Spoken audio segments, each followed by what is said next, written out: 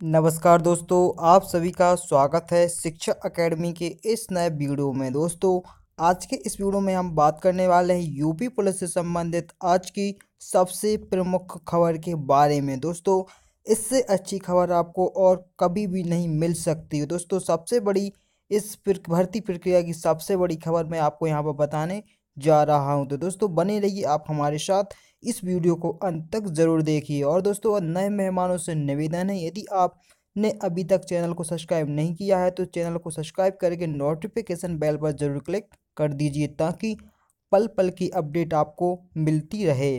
तो चलिए दोस्तों, चलते हैं आखिर कौन सी खबर है, जो कि आज की सबसे प्रमुख खबर मानी जा रही है। तो दोस्तों, आपके लिए बता दें, आज है पाँच जनवरी 2019 दोस्तों, जैसे कि आपको कल के वीडियो में मैंने बताया था कि चार जनवरी 2019 से, यानी कि कल के दिन से बीते हुए कल से जो एडमिट कार्ड हैं, वह डाउनलोड होने स्टार्ट हो गए हैं। तो दोस्तों, बहुत से विद्यार्थियों के वहाँ पर कल डाउनलोड नहीं हो रहे थे। लेकिन दोस्तों, अब आप सभी लोग आप ट्राई कर सकते हैं। जिन विद्यार्थियों के एडमिट कार्ड जो कल डाउनलोड नहीं हुए थे, वह आज दोबारा से प्रयास करें, क्योंकि आज अच्छे से लिंक चलने लगी है और सभी के जो एडमिट कार्ड हैं, वह जारी कर दिए गए हैं और आप आसानी से अपने एडमिट कार्ड जारी कर निकाल सकते हैं।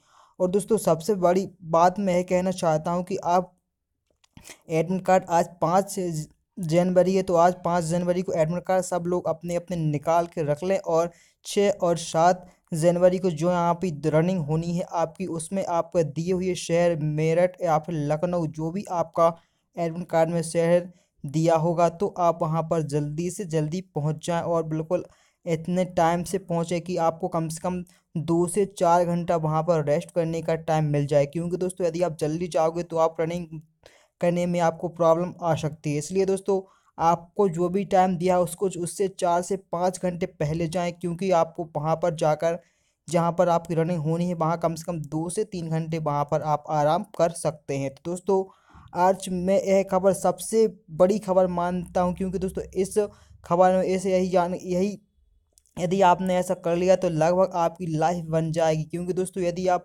पहले से ही जल्दी जल्दी में जाएँगे, वो हाफ़ जाएँगे फिर थक जाएँगे तो आप रनिंग कंप्लीट कैसे करेंगे? इसलिए दोस्तों, मैं बता रहा हूँ, आप अपने सेंटर पर दिए हुए समय के अनुसार चार से पाँच घंटा पहुँचें और वहाँ पर सेंटर पर जाकर आप कम से कम दो से तीन घंटा बैठकर आराम करिए। रनिंग बिल्कुल नहीं करिए दोस्तों, आराम करिए ग्लूकोज पिए, उसके बाद जब आप रनिंग के लिए जाएँगे तो आप अच्छे शांतिपूर्वक अपनी रनिंग कंप्लीट कर लीजिए। तो दोस्तों, हमारी मनोकामनाएँ आप सभी के साथ साथ हैं और मेरी शुभकामनाएँ भी आप सभी के साथ हैं कि आप जिन लोगों का भी यहाँ पर रनिंग होनी है, वह आप आसानी से क्वालिफाई कर जाए। निर्धारित समय में जितनी रनिंग आपको है, पच्चीस मिनट में फोर पॉइंट एट जो यहाँ पर रनिंग दी है, वह आपकी कंप्लीट हो जाए। हमारी मनोकामना भी और दोस्तों, हमारी तरफ़ से आपको शुभकामनाएँ भी हैं।